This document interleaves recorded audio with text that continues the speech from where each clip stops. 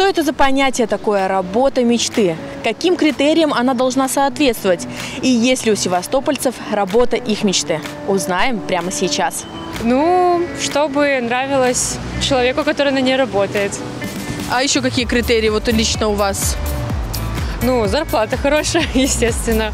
Вот, чтобы начальство понимало и был какой-то рост обязательно. Потому что когда на одном месте, не очень. Ну и мне еще нравится, когда работа разноплановая, не могу делать одно и то же много времени.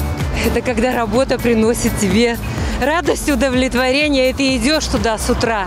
Ну просто как на праздник. Ну, блин, ну чтобы нравилось, как минимум. Чтобы платили неплохо. которая ты живешь ею.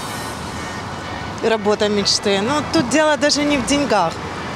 Как бы, чтобы ты жил, чтобы ты ходил на нее с удовольствием, чтобы кайф получал. Это работа мечты. Я мечтала. Я с детства хотела работать воспитателем. И я считаю, что эта профессия, ты должен жить ею. Работа мечты, ну, на которой легко работать, наверное, так. Такая работа. Ну, когда приходишь и уходишь когда с работы, не замечаешь, что она заканчивается. Чтобы попадала по темпераменту, наверное, чтобы попадала как-то по по режиму, по особенностям человека. Ну, Ну, работа мечты – это и есть мечта. Что ты мечтал, ты и работаешь.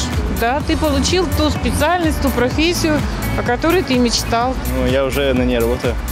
А кем вы расскажете? Я работаю персональным фитнес-тренером.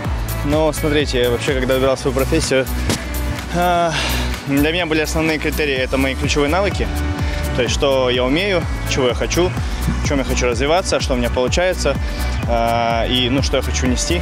Вот. Естественно, взвесил все свои умения, навыки, желания, сопоставил, вот, и начал искать, понял, что хочу обучать, помогать э, людям, да, соответственно, в физическом плане развиваться. Ну и, собственно, так и нашел свою работу мечты.